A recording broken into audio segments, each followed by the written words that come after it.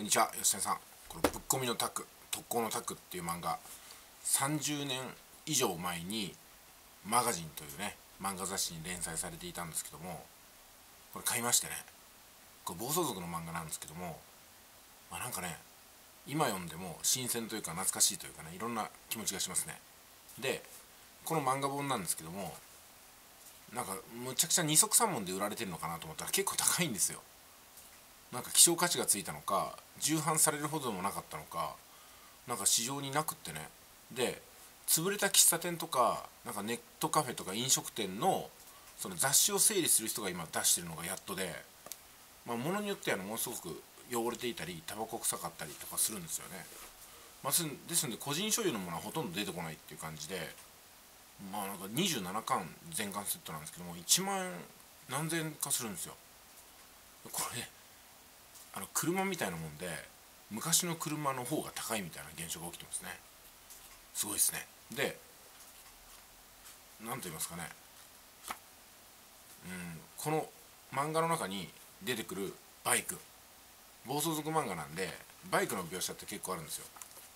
そのバイクもなんだかね今高いんですよ。いや古いバイクですよ。30年以上の前のバイク。250とか400とか。で今その私と同じような年代のが、まあ、生活に余裕できて昔を振り返って当時は買えなかったけども漫画とかバイクとかね今免許を取って乗りやすって結構いるらしいんですよ。旧社会っていうらしいんですけども。で暴走族のコスプレをしてもはやコスプレなんですよ。暴走族の格好をしてね特攻服になんかいろいろと絵を描いてでなんか制限速度守ってきっちりとあーって運転してるらしいんですよね。なんか何が起こるか分かんないですね。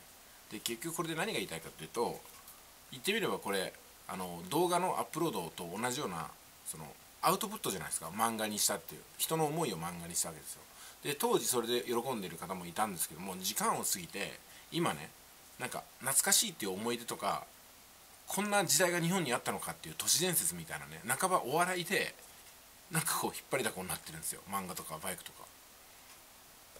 ね吉田さんもあの昔の車ってあるじゃないですか。ね。車とかバイクとかね。その他にも昔の、まあ、映画コンテンツとか漫画とかね。いまだにいまだにね再生されてるんですね。いまだに求められてるんですね。っていうようなことが YouTube にも起きるんじゃないかなと思うんですよ。でプラスなんですけどもこの中に出てくるねなんか普通に使われてる言葉とか例えばねパロデュースって言葉出てくるんですよ。ゲームの。パロデュースやりに行こうみたいなね。笑っちゃうよねなんかね。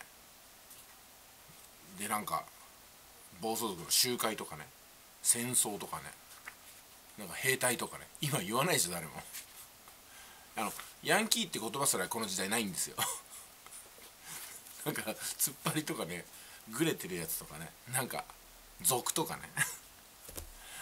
すごいですね、うん、だからまあ今日未来のために何かを刻んできたんでしょうね。こういう時はね、何が起こるか分かんないですね。いってらっしゃい。